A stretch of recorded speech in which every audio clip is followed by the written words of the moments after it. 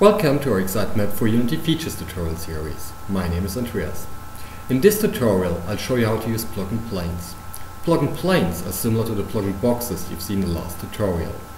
But blocking planes are two-sided, which means that each side can be switched on and off individually.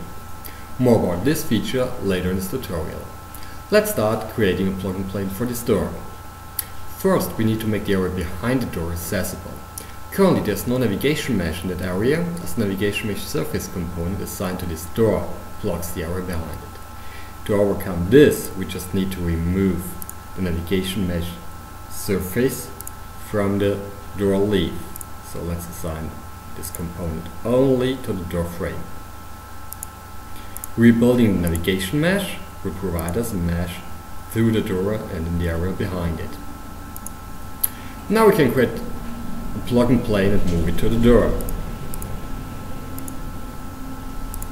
Here we go. Let's rotate it to face to the door and move it to the door. Here we are. Now we just need to scale it roughly to the size of the door.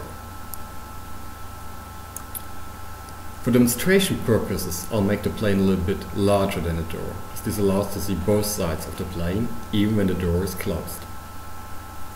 Now I can apply the switch blocking script I used in the last tutorial to the door and apply the and plane to the script.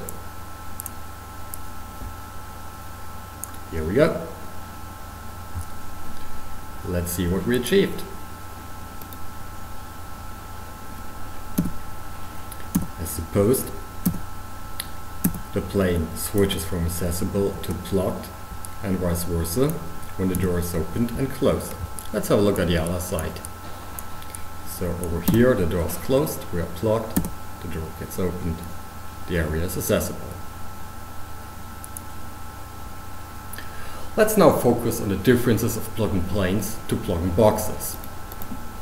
As mentioned in the beginning, blocking planes are two-sided, allowing you to switch each side individually on or off. So suppose we want the door and the area behind it to be accessible from the center of the map, but the way back should be available in pathfinding when the door is opened only. This scenario resembles, for example, a cell door in a prison where the guards are allowed to walk in the cells anytime, but the prisoners can get out of the cells only when the door is opened. So to achieve this, we select a blocking plane and set the state to one side unplugged which switches the outer side to green, which means accessible, and the other side still red, which means blocked. Let's start the game again. Please note that even if the door is still closed, the plane is accessible, which means the pathfinding will plan path is through it. So now this side is still green and open, and the other side is red and closed. When we open the door now, this side from here to there gets queen 2, which means it's accessible, while the other side is still accessible.